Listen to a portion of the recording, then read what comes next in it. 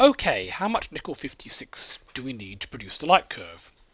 We know if we plot the luminosity against time, we get the initial peak and then a slow decline, and this comes out as a peak of about uh, 2 by 10 to the 36 watts, and that lasts about two weeks.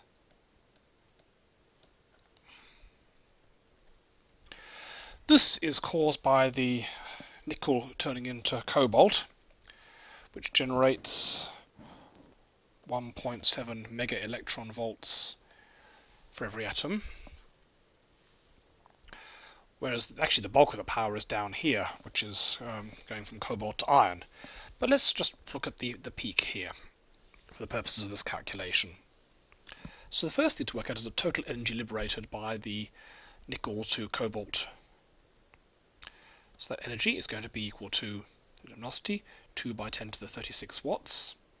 So watt is a joule per second. So we need to multiply that by the number of seconds to turn into actual energy from power. So we've got two weeks times seven days in a week times 24 hours in a day times 60 minutes in an hour times 60 seconds in a minute.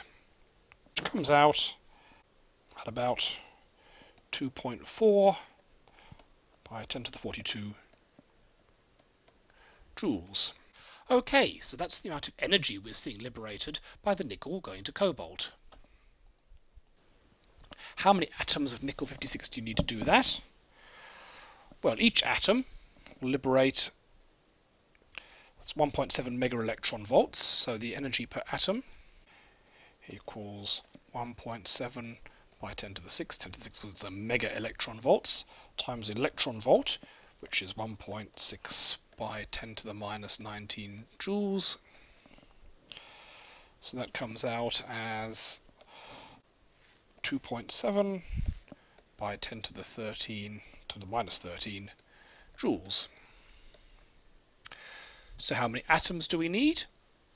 We can divide this by that, and that will tell us the number of atoms.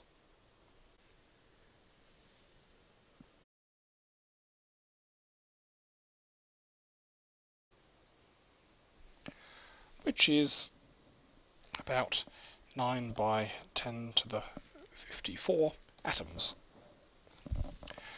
But each atom weighs around 56 times the atomic mass unit.